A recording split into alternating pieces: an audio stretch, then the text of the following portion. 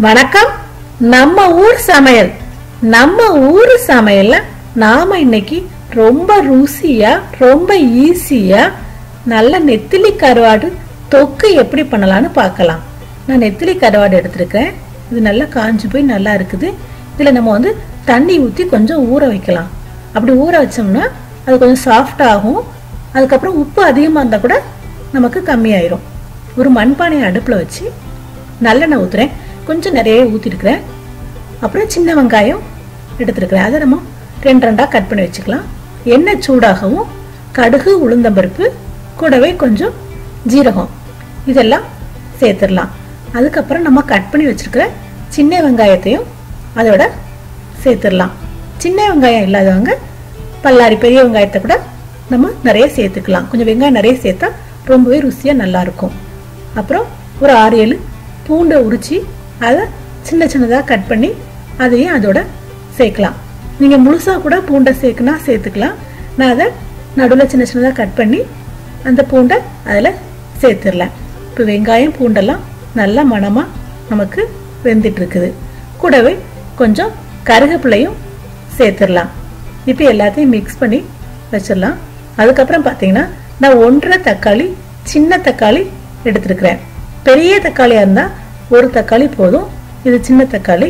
அதனால ஒன்றரை தக்காளியை சின்ன சின்னதாக கட் பண்ணி அதையும் இந்த வெங்காயம் இதம் கூட சேர்த்தாச்சு.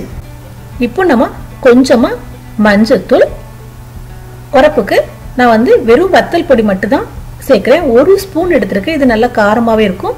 உங்கள் வத்தல் பொடி எவ்வளோ காரமோ அதுக்கு தக்கன நீங்கள் ஒரு ஸ்பூன் ஒன்றரை ஸ்பூன் அந்த மாதிரி உங்கள் தேவைக்கு எடுத்துக்கலாம். நம்ம வேற எதுவும் இதில் சேர்க்குறதில்ல. கொஞ்சம் லைட்டாக எல்லாத்தையும் நம்ம வதக்கி விடலாம். அதுக்கப்புறம் பார்த்தீங்கன்னா கொஞ்சம் உப்பு சேர்க்குறேன். இந்த கருவாட்டில் வந்து உப்பு இல்லை அதிகமாக அப்படிங்கிறது எனக்கு தெரியும். அதனால் நான் கொஞ்சம் உப்பு சேர்க்குறேன். சில கருவாடு துண்டு கருவாடு அந்த மாதிரிலாம் இருந்தால் நம்ம எவ்வளோ தான் கழுகுனா கூட கொஞ்சம் உப்பு அதிகமாக இருக்கும். அதனால் நீங்கள் எப்போவே கொஞ்சமாக உப்பு சேர்த்துக்கோங்க. அதுக்கப்புறம் நம்ம நல்லா இந்த நெத்திலி க்ளீன் பண்ணிக்கலாம் ஆல்ரெடி தலை இல்லை. இருந்தாலும் நம்ம நல்லா க்ளீன் பண்ணி அதையும் நம்ம அந்த அடுப்பில் இருக்கிற பாத்திரத்தோட சேர்த்துடலாம்.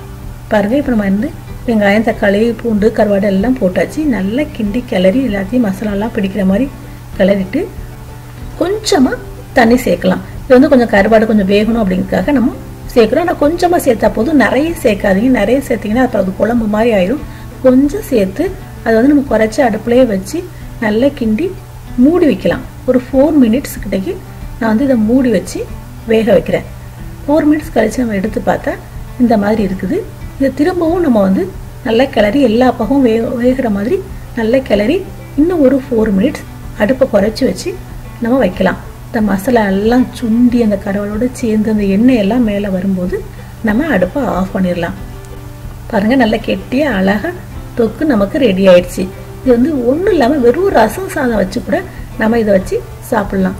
கொஞ்சமாக நம்ம எடுத்து வச்சு நிறைய சாதம் கூட நம்மளால் சாப்பிட முடியும். அந்த அளவுக்கு இந்த கருவாடு வந்து ரொம்பவே டேஸ்ட்டாக இருக்கும்.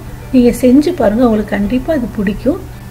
இந்த வீடியோ பிடிச்சிருந்தா லைக் பண்ணுங்கள் ஷேர் பண்ணுங்கள் சப்ஸ்கிரைப் பண்ணுங்கள் என்னோட இந்த வீடியோவை பார்த்ததுக்கு மிக்க நன்றி.